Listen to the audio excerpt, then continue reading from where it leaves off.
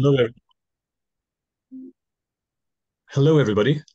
My name is George Greenlee. I would like to invite you all, or welcome you all, I should say, to our latest Knowledge Series webinar. These monthly webinars are uh, aimed at providing a deeper dive into the RAIN RFID technology, its benefits, uh, and its challenges, of some of which we will talk to today. On the next slide, you can see that I have selected a set of webinars that we have run earlier this year. It's a subset of what we've done, but it contains information that is uh, relevant to what we're talking to today. So after this webinar, you may feel like to, it's worthwhile going back to look at these webinars to get a few extra deeper di dimensions on what we're talking about today. Uh, you can find these webinars on our website. Just go to the resources uh, menu and you'll find uh, webinars in there. I would like to uh, point out that uh, this webinar is being recorded. So if you miss out on anything that's been said, you can come back in and have a look at the webinar. And you can also make uh, a link available to your colleagues and friends uh, who may find the webinar interesting. Questions, uh, if you have questions of our presenters today, please type them in the chat box and we will get to them at the end of the session. And we probably won't be able to get to all of them, uh, but uh, we'll get to the ones that we, uh, we can do. With that said, I'd like to introduce you to Dr. Susanne uh, Orlowski. Uh, Susanne is founder of For the Record. Uh, it's a DPP consultancy that is aimed at helping companies implement their DPP strategy. But today she's here in her capacity as a DPP specialist to the uh, RAIN Alliance. So I'd hand over now to Susanne. Yes, thank you, George, for the nice introduction. Um, so I wanted to give you a little bit of the context of why we're sitting here together. Um, the context is the tire industry and the challenges it's being faced with regards to sustainability and circularity. And uh, the discussion we want to have is around is the sustainability and circularity and the requirements that come with it um, is that only posing a challenge for the tire industry, or may there also be opportunities for the industry and the stakeholders around them? And um, Lauri and Riccardo, our two speakers today, they will have a lively discussion about it. Um, so um, I will introduce our um, discussion guests. Uh, first is uh, Lauri Hyytinen. He is um, Marketing Development Manager Automotive at Avery Dennison. And uh, in his 15 years of experience in the RFID business, he has supported over 100 projects uh, together with different solution partners. And on top of that um, position at Avery Dennison, he also has worked as a vice leader of the RAIN Tire Working Group. And he has also supported different industrial working groups to build RFID standards and recommendations for the global automotive industry. Uh, welcome, Lauri. It's a pleasure to have you here today. Um, and um, our second guest is uh, Riccardo Giovannotti. He is Secretary General at the GDSO. And for those that don't know what the GDSO it is, it stands for a Global Data Service Organization for Tires and Automotive Components. Um, he has ex uh, extensive experience in the automotive industry as well and uh, also has led uh, several projects at the international level, combining global and local needs. And he has supported the GDSO setup, keeping in mind continuous and sustainable development in the digital framework. And thanks to his engineering background and MBA, he has proven skills, obviously, to bring an industry through the upcoming transformation process that we have ahead of us. So uh, also a warm welcome to Riccardo. Great to have you here today. Thank you. And with this, I'm handing over to Lauri, who is going to pose the first questions, I assume. Lauri, it's your floor. Thanks, Susan. All right, so I think we should move to the next slide, please.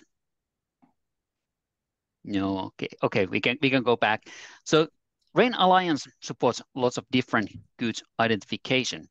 And today we are focused on tires.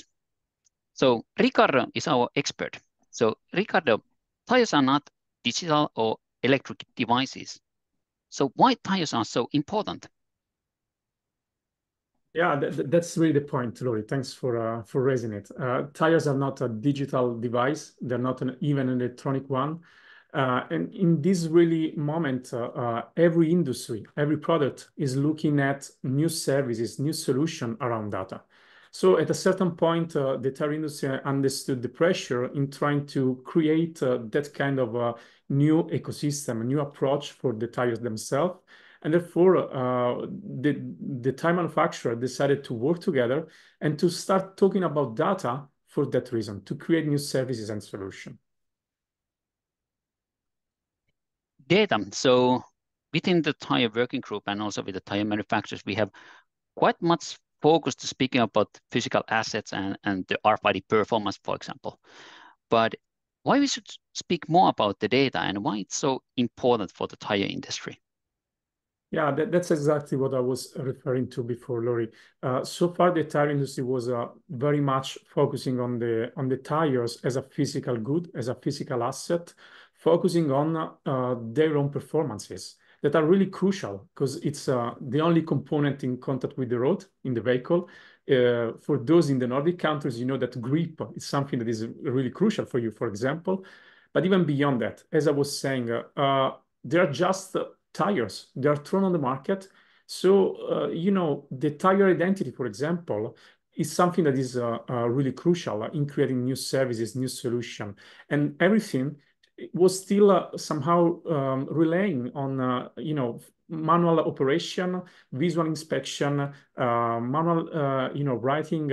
So it was really a turning point for the tire industry, and everyone agreed that we should start in, you know, putting together the different pieces of the puzzle, starting from the tire identity. So looking at a possible serialization, not only anymore the stock keeping unit or let's say product line, but looking at possibility in data carriers, electronic devices that could land in a, in a new environment, as I was saying before. Not only anymore the tire is a physical good, looking at performances, but beyond that, starting from the identification.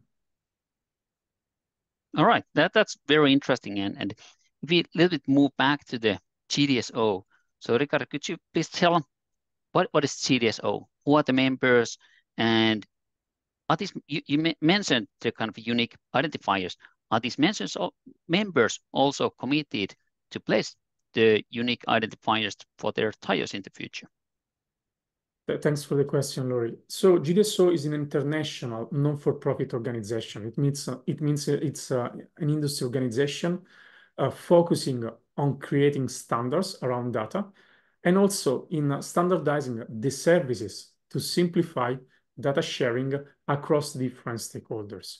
And, you know, uh, we were established in the beginning of 2022, so we are almost rookies, but the momentum is really the right one. We are creating a clear and great critical mass around uh, uh, these activities, and we have already 12 tire manufacturers uh, joining uh, GDSO uh, with a global footprint, and all of them are committed to implement this kind of data sharing, databases. Indeed, we talk about tire manufacturers, but from a GDSO perspective, there are more and most important data providers. For sure, as I was saying before, they are still producing tires. That's an asset. But from a GDSO perspective, they are considered data providers. And for sure, they all of them are in a kind of a scaling up approach in implementing electronic identifiers, in implementing the serialization, and in implementing new services and solutions. So I would say that we are at the beginning, but the hype, the interest is pretty high, and we are seeing every every year and new members joining GDSO, confirming that we are going the right direction. But also every week, every month, uh, interesting exchanges with a very complex environment of different stakeholders along the tire value chain and with new tire manufacturers more and more interested to, to start that kind of digital journey altogether, moving from just operation to digitalization. the question which I have heard a couple of times asked from from you in, in the earlier events and is, is related to data and, and the databases. So could you clarify, is GDSO a joint database or what, what is the GDSO role there between the databases? That's really an important question. Thanks, Lauri. So let me clarify, first of all, what GDSO is not. Then I will ask uh, the support of Rain to, to display the, the famous graph that we've got. So GDSO is not a central database, and GDSO is not a data broker. That's really fundamental. Um, maybe, Elizabeth, you can help me in uh, sharing the, the spider, the, the famous graph. So mainly GDSO is um, is a service provider. So we focus our attention in standardizing data. And on the screen, you may see the Tire Information Service, what we call the TIS.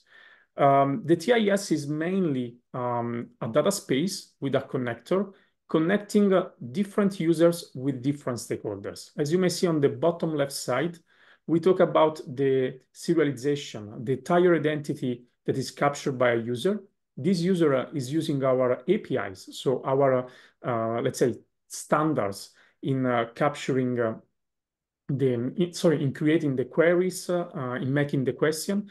And GDSO is the service provider. So as you may see in the block number three and four, is the governance body that is authenticating the user is resolving uh, that kind of uh, query saying, okay, this tire with a weird identity made uh, of a possible alphanumeric code means you have to go to the tire company B, that is the box on the right side.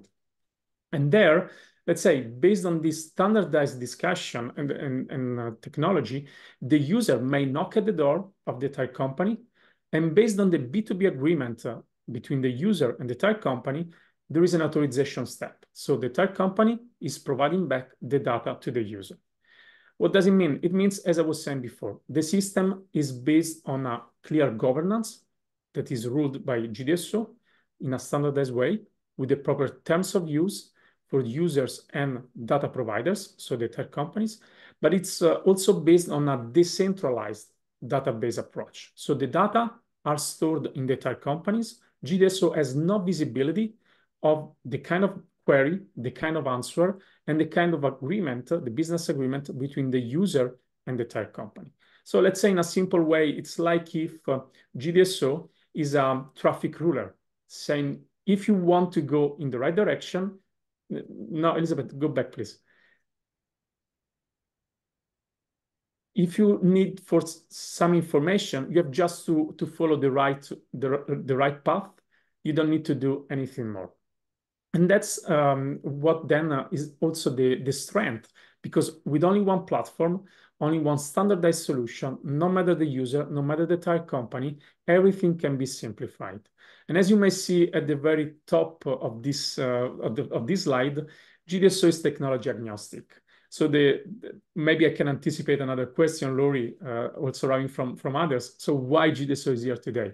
Because we are technology agnostic, but we also understood that for some use cases, uh, we have to go in detail for some uh, specific data carriers. And one of those is, uh, is the RFID. But in general, and um, let's say more at a high level, all the GDSO services are based on the serialized SGTIN-96 code for every single tire. Thanks, Riccardo. Very, very nice. I, I really like this slide. The question today is, is that, that you mentioned that, that GDSO it was created just a couple of years ago. So looking at the picture here and, and your answer that, that GDSO is a service provider, what is this services? What, what is the maturity level of GDSO services today? Yeah, the, the, from a, a, service provider point of view, that's really an important point. Uh, you know, very often we see um, talking about a global footprint uh, and nice data spaces and connector on PowerPoint. The good news is that GDSO is live. I mean, uh, we are even beyond the PowerPoint. So the system that you see on the screen uh, is in production. Uh, so the tire information service is already implemented by a number of different stakeholders, by the tire manufacturer themselves, by some distributors, by some um, vehicle manufacturers, uh, even by some uh, uh, other stakeholders along the tire value chain. So th that's really important. As I was saying, we are in a kind of a scaling up uh, stage. It means that we are already in place, we are live, we are in production. We are looking for further extending both the adoption by different tire manufacturers and the implementation by different uh, uh, stakeholders all around the world. Because again, uh, the mantra, I guess, in our discussion is always to be global, no matter the region. Because as soon as we talk about data, in GDSO, in RAIN, in GS1, in many other, let's say, uh, uh, places, uh, we have to, to talk about a global landscape. Good. So, so today's kind of webinar topic and, and the title is related to sustainability and circularity. So when we think about the GDSO and tire information services, how does kind of um, are those ready to support kind of future requirements for the sustainability and circularity and, and kind of the challenges which those are bringing for the industry? That, that's really the, the turning point in our discussion, Lauri. Um, the, this, the graph that you see on this screen is the one that we decided to introduce as an approach, as a service, as I was saying before, to elevate the discussion and the tire industry itself from just manufacturing to a service solution and digitalization uh, journey. But it's not enough because this one is really just the first step. It means that in one of the use cases that this tire information service may solve is the identification of a good. But then this system, and that's the weak point, we know it very well, is not able to collect additional information while tires are further evolving, while tires are along their life and moving from one stakeholder to the other. So that was really the first step. And uh, if we move to the next slide, you may see a, a, more complex environment than, than what I was saying before. So yeah, the slide number five. Um, you know, the, the road for the tire journey is very complex It's not just within the tire manufacturer's um, uh, premises, It's not just for uh, vehicle manufacturers, but tires may evolve during their life. They can be retreaded, that means rebuilt, because the, the tires can be rebuilt uh, when they re reach uh, the minimum tread depth. Uh, but also, they can be subject of uh, additional evaluation while their life up to the very end of life. So the first challenge that we got within the industry was to try to understand in a variety of different data carriers that can be fed with a, a serialized code, what could be the one uh, serving a, a cradle to grave use case. We made our technical assessment and with today technology, today availability and standardization, we understood that the only data carrier that may cover a cradle to grave use case for the tires is the embedded RFID.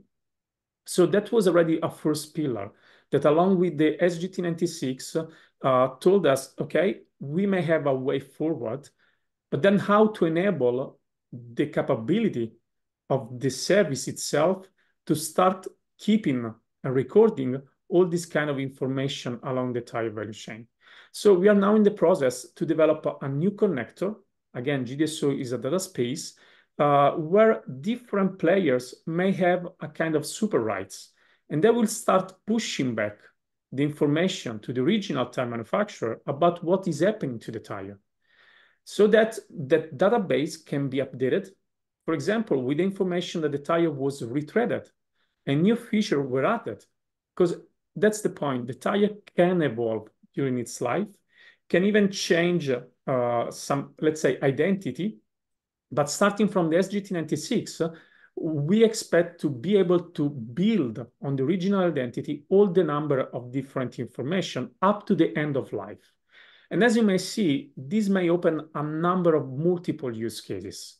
They could be for sustainability, because then the tire manufacturer will be able to collect all the different steps and create an assessment on that, on that product, but also in terms of circularity, because at the very end of life, then that information about that tire can be collected and all the different components can be um, uh, recycled in the proper manner. So we are working in creating a new solution, a new service, a new connector uh, that is called the Tire Lifecycle Data Service, for which all these kind of sustainability and circularity use cases uh, will be enabled. All right, that that's very interesting, and and that's maybe kind of building the bridge also towards the digital product passport.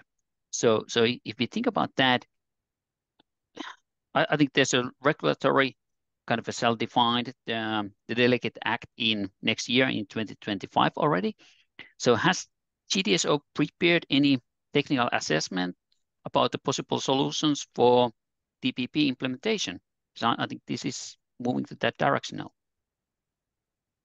Yeah, uh, as I was saying, um, the DPP is um, I, am pretty sure that Susan will help us to to dive in. Um, is a complex uh, uh, dossier.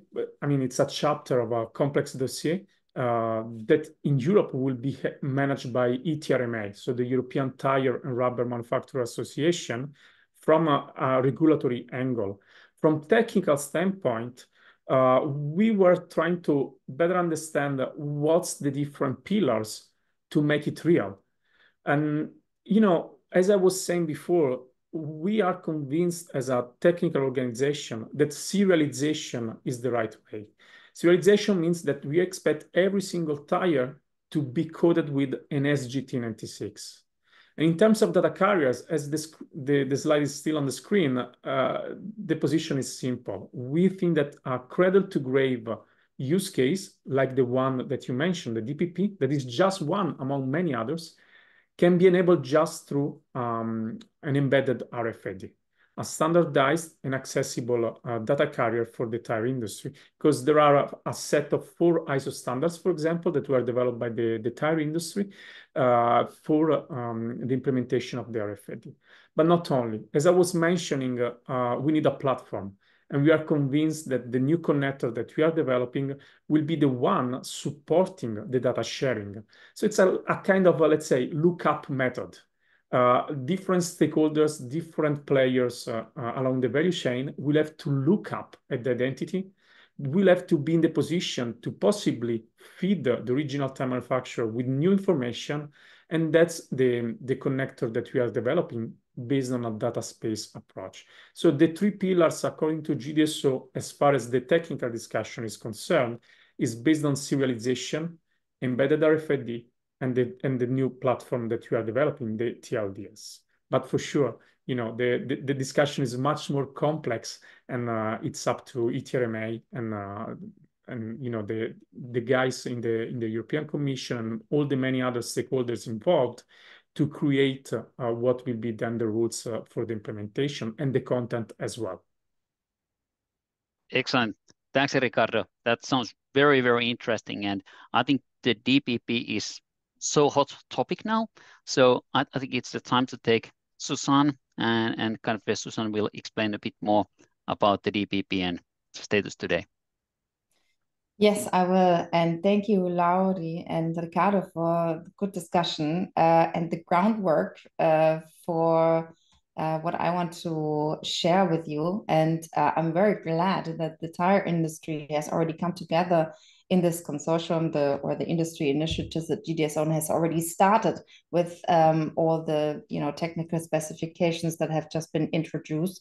Um, because we will have a lot of use cases, as you said, with regards to sustainability. And the digital product passport is probably one of the pressing topics that are coming towards the tire industry. So let me quickly explain um, just some high level information about the digital product passport.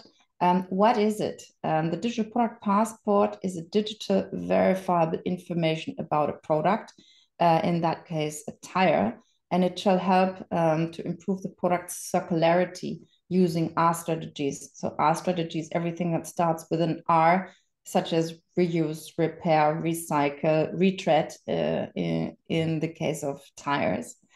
Um, and this is therefore, um, the DPP is supposed to be a vehicle to enable the circular economy and also new circular business models, maybe improve the retreading of tires and uh, yeah, reuse of the material, recycling the material.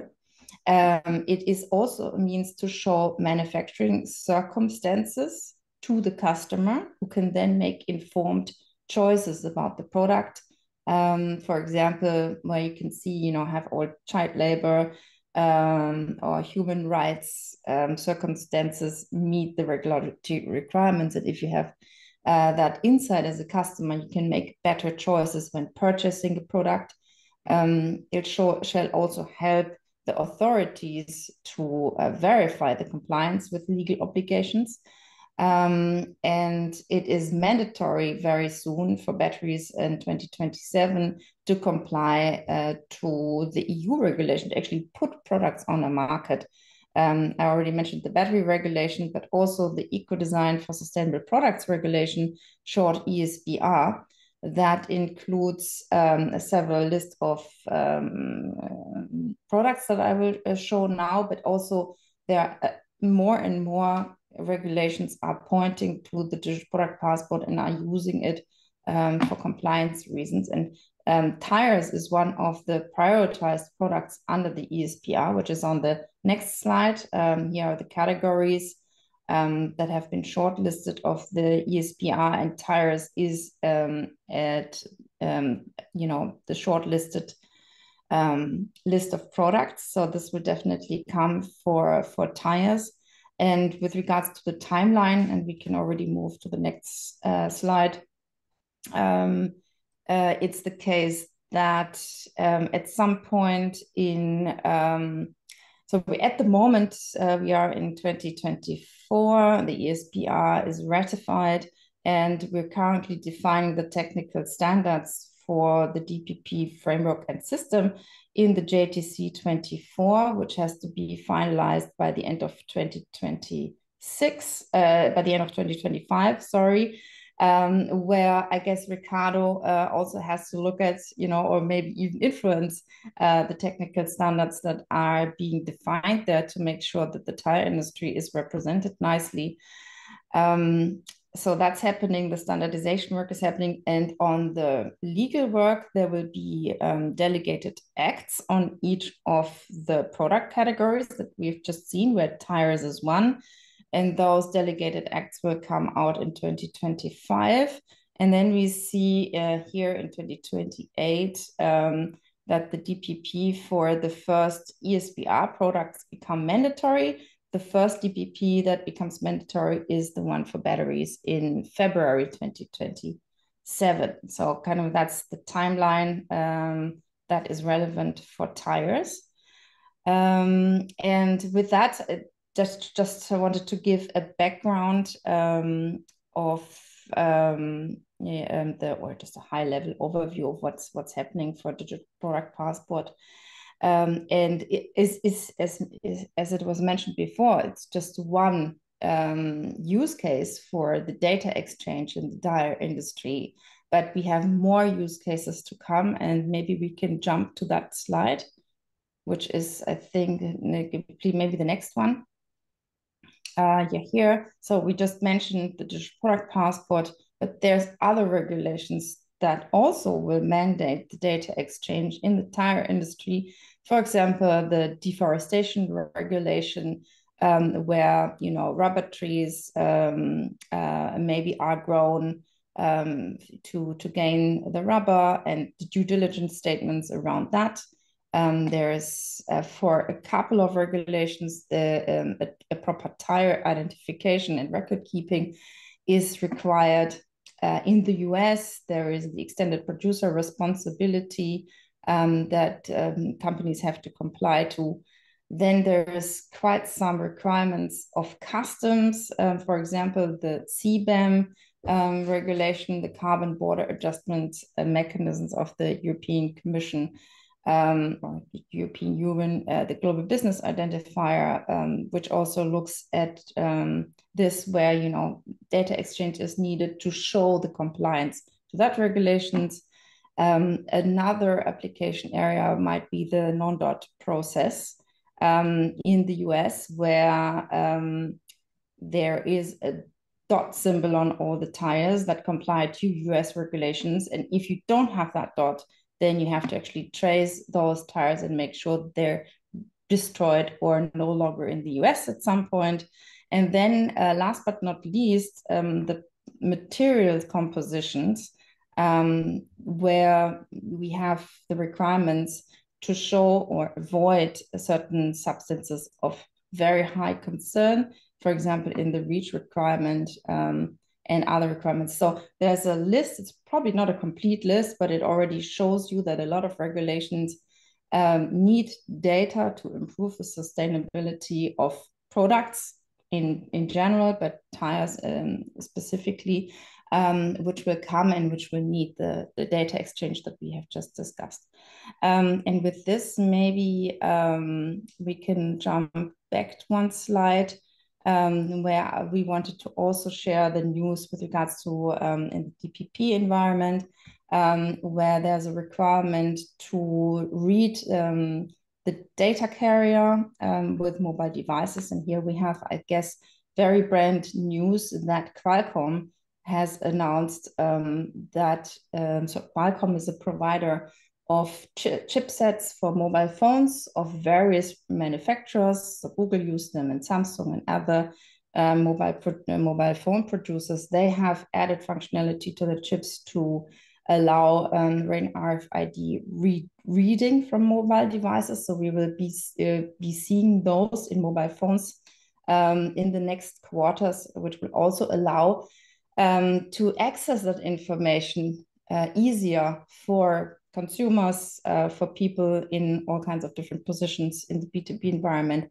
um, in the B2C environment, and so forth, to have access to that information that we've been talking about. So I think um, that's important news for the industry. And with this, uh, I want to jump to the um, slide after this one exactly, um, just as a short summary for what you've seen so far until and after that, we go into the Q&A session. Um, first of all, we had the great introduction of data uh, sharing and why it's crucial for sustainability and how this is um, achieved at the moment and that standardization is already ongoing in the tire industry. Um, we showed kind of one of the big application areas, which is the digital product passport, which is coming up um, to use this data and um, I also uh, would like to point you to our event in Florence, the Rain in Action workshop. And if you're not registered today and you want to come to Florence in September, please use the QR code and register today because at that event, we will go into more depth of the digital product passport. We have a full workshop there to um, discuss requirements um, from the tire industry um, to discuss, you know, uh, use cases and to have many, many more insights. We have the European Commission there um, and a lot of companies, involved companies and the entire industry coming together discussing uh, the digital product passport, its requirement and how we can comply to it. So please feel invited to join us in Florence. And I think with that, um, I would like to hand over to George. Uh, and thank you, everyone, uh, for the input so far. And I hope we have some um, questions coming up from our audience.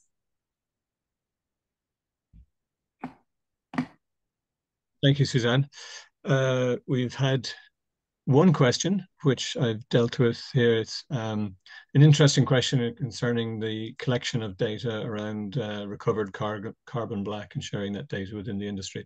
I think it's a very specific question for this particular webinar. So I've uh, said to the person who's requested it that we'll connect him with a person who can, can provide some information on that. So uh, I would take this time now to ask anyone who's um, has a question to please type it in the Q&A session and we see if we can uh, get a discussion going here.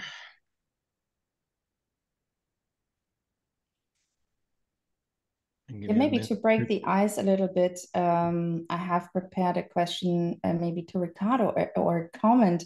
Um, I heard you talking about additional data that comes that has to be amended or added to the yeah information of attire. Um, and that's also a requirement for the digital product passport. Have you already experienced or you know worked with some technical ideas how to do that? Um, maybe something that you can yeah, thanks a lot, Susan. So yeah. first of all, let's say content-wise, uh, let me remark uh, once again, uh, the regulatory dossier is on uh, ETRMA, so the Trade Association in Europe. From a mm-hmm. GDSO perspective, uh, let's say in a simple way, we don't care about the content. We will pave the road uh, about the how, how to do that. So we are developing user stories, trying to explain how to achieve the goal. So um, we are strongly believing that the goal can be achieved uh, by implementing a, a, data space approach with different players having different rights, and so developing uh, with some, let's say, uh, application programming interface, the proper way to exchange data. And therefore seeing GDSO having a kind of a double role. From one side, being the governance body, uh, so the one setting the rules, the standards, how to code the, the, different uh, information, uh, but also a kind of a clearinghouse, the one ensuring that the data are flowing in the right way, that the players have got the rights to do that, so that then the tire manufacturers may, may also digest uh, this kind of uh, declaration coming from the different players. So everything should be based on, as I was saying, on a data space approach, having GDSO at the center as a governance body, but also as a kind of, a, let's say, uh, trusted party in ensuring that the data transfer is the right one. Yeah, thank you. Um, Riccardo, uh, do we have other questions in the chat? Yeah, I have one here. I'm just reading it out live. Um, it says, uh, for the tire retreaders, is one of the goals to track the number of times a tire casing has been retreaded and flag those casings that have been retreaded too many times? It's a very Thanks, specific George. question, I understand. Yeah, thanks, George. So um, I didn't deep dive on the current status of standardized information on the new one that we are expecting. But for sure, we made a one-to-one interview with many stakeholders, retreaders, end-of-life tire companies, also uh, many others. And it was clear that uh, as soon as we talk about tires and their identity, the physical asset itself is playing a role. So how to add value to the physical asset? Exactly uh, based on the question that we received in tracing if the tire was already retreaded or not. You know, from a retreader perspective, it may have a different value if it is a just brand new tire that was uh, reaching the minimum level of tread depth or if it was already retreaded three times and it got 1 million kilometers uh, life. So we are trying to collect all that kind of information that may bring value to the asset, but also optimizing and speeding up the internal processes for every stakeholder, retreaders, end-of-life tires, so that digitalization may really bring uh, an additional value for all of them. Thank you. Um... I'm just reading this one. Okay, so the next question is, uh, hello, the first product to have mandatory DPP is the batteries due to the EV growth. Um, and then the tires will be also be DPP mandatory around 2028 with the first ESR, uh, ESPR products. Okay, that's a statement. I thought it was going to be a question mark. No, I think it's a question. I think will the DPP for, for tires will also be mandatory mid 2028. Right, okay. So um, if we can go to slide eight and show the timeline again, um, I can share a little bit of insights additionally to just the timeline data. Um, and there you can see that at the beginning of 2025, um, there is an adoption of the uh, no no uh, the timeline. Uh, yeah, this one. Thank you. Um, at the beginning of 2025, there is the adoption of the ESPR work plan. That means that the list of products that I just showed um, might be, you know, changed or uh, did get a priority order or the like. Um, and once this is out, we will know more which delegated acts will come out uh, for which product group. So for each of the products that you saw, each product group, a delegated act under ESPR will be issued and the first two ones will be um, textiles and steel. Um, so we expect them very soon. Um, and then you can, mm, you know, calculate maybe uh, two and a half, three years later, um, the DPPs for that product category will become mandatory. So depending on how the work plan looks like, we have a better idea at the beginning of next year when exactly DPPs for tires become mandatory. So stay tuned uh, with the information that comes from RAIN um, to get that uh, that info soon. Okay. Uh, so the next question is, does GDSO consider to open data access to the public as possibly suggested by some DPP requirements? And I guess it's still to me, yes. Um, yes. So thanks, Philippe, for the question. Um, let's say, as I was explaining before, um, short answer is yes. Long answer is a bit more articulated. Let, let me explain. So uh, GDSO, let's remind what Lauri was saying before. Um, the tire industry is not uh, really dealing with electronic and digital devices. So up to now, GDSO was focusing uh, on the B2B level. That means enabling uh, tire electronic identity and management in the B2B environment.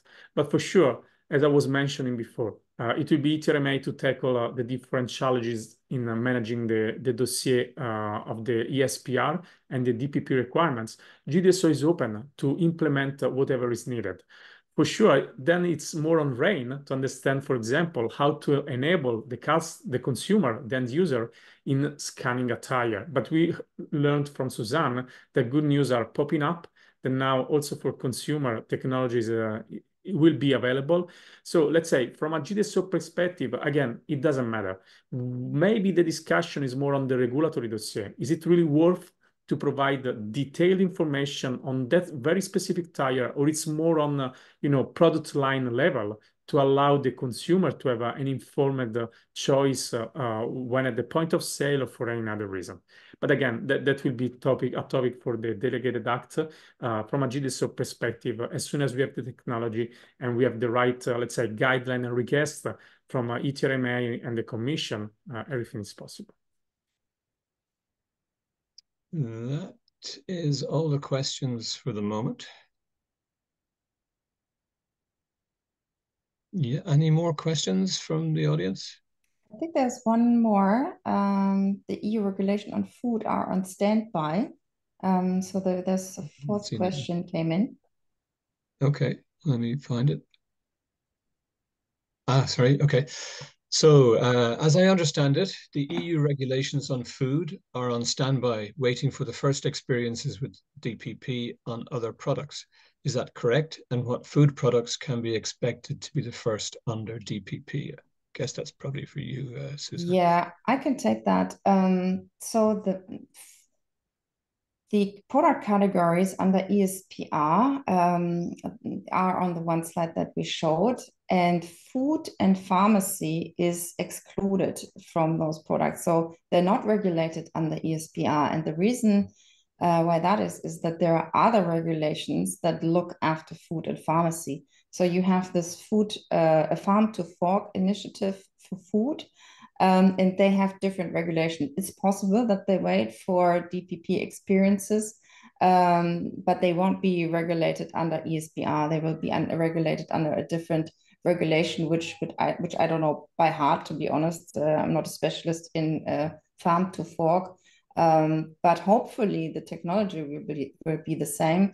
Um, as you know, some ingredients for food might also end up in in other products. Um, um, and also you know pharmacy is the same um, the idea is that there will be an overarching dpp system um, that is the same independent of the product category so that especially for raw material providers they don't have to serve so many different different systems so one system for tires another system uh, for textiles and then a third system for batteries. The idea is that if you are an aluminium provider and your product is in, you know, in paints and toys and and um, yeah, a lot of a lot of different products, then you should only serve one system um, and those they should be interoperable. So um, that's all I can say um, as I'm not an expert in the in the food area. Okay, the fifth question is now in. Um, and it's for you again, Susanne. Could you repeat who is coming with RAIN RFID chip in mobile handheld? I didn't catch the name very well. You're on the yeah, spot. so it's Qualcomm. Qualcomm is coming um, with um, RAIN RFID um, technology in the chip. And while maybe um, another question comes up, I will look for the link of the press release and share it in the chat. So bear with me one second, please. Okay. Anyone else? Don't be shy.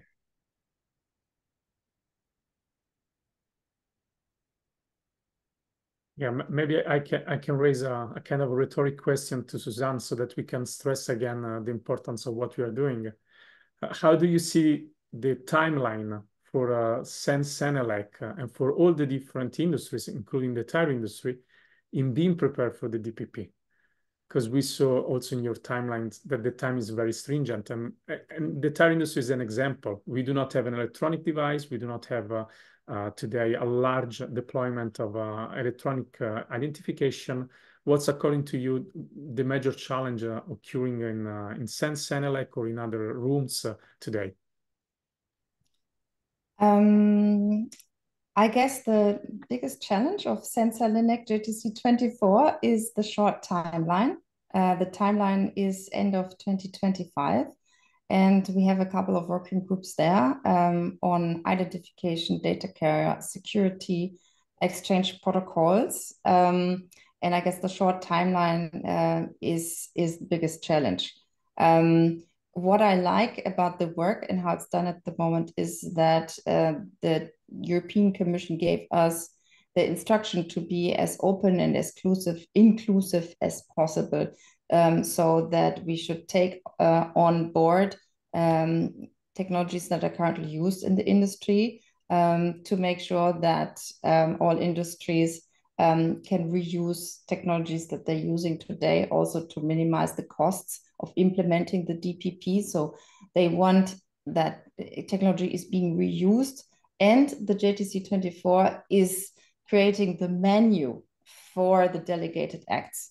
So whatever we define in JTC 24, where I'm also a member in, in two working groups, um, is something, um, is a list of standards that can then be used for the delegated acts. And in the tire delegated acts, they, there maybe might be stated, okay, use this data carrier and uh, use this identifier and use this lookup mechanism to make it, to narrow it down. But at the moment, you know, we will have, we will define a bouquet of existing standards to be inclusive as possible. And in the meantime, I have shared the link um, to the press release, which um, which yeah, will, I guess, foster some innovation in the space, mobile space, RFID space, product information uh, space. Uh, I think this is very exciting times.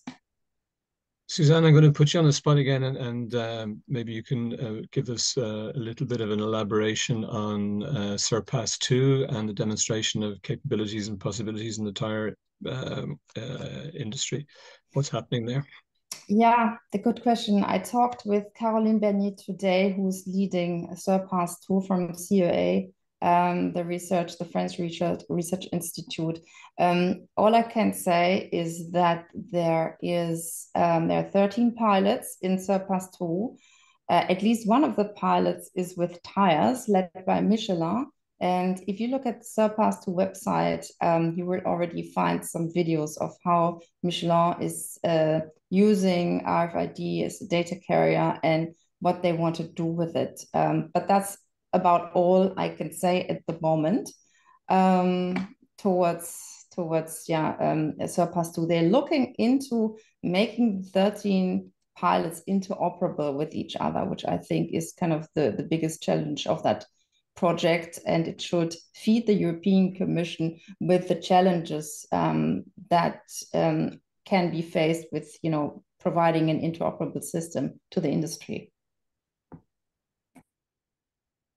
Okay, uh, some more questions have come in. This is beginning to get good. Um, from the from the perspective of data carrier, what is the most strongest competitor competitor of RAIN RFID?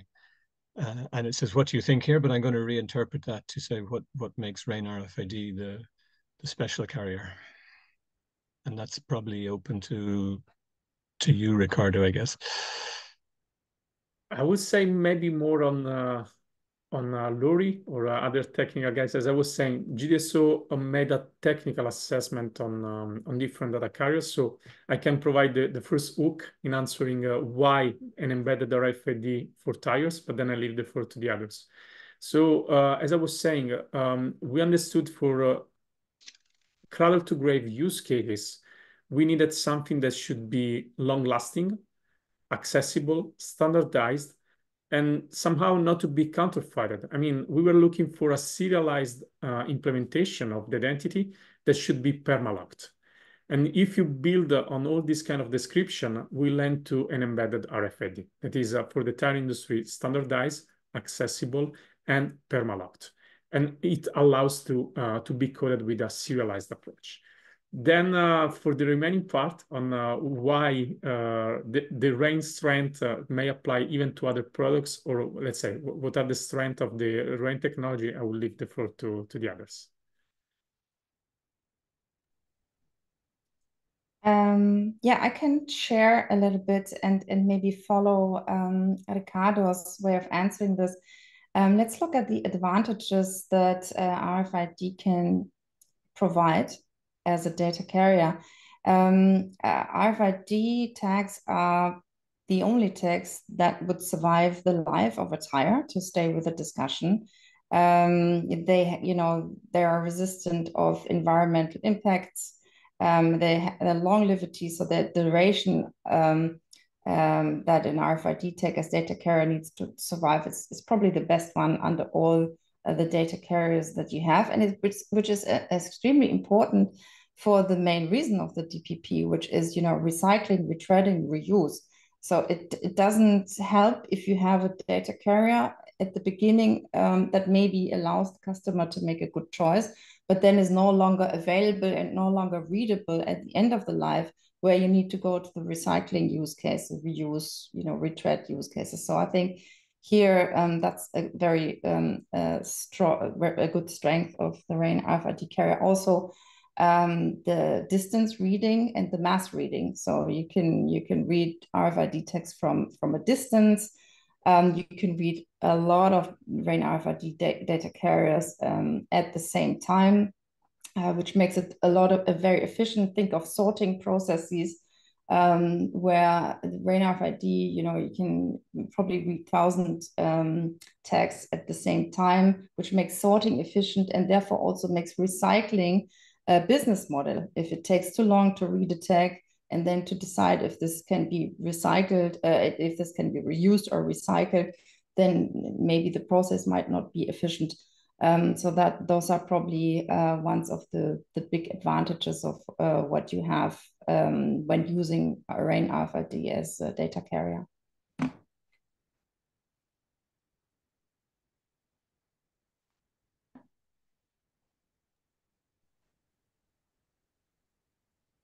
George, you are on mute. Sorry. Uh, one last call for questions. We're just coming up to the top of the hour. Uh, give a second or two.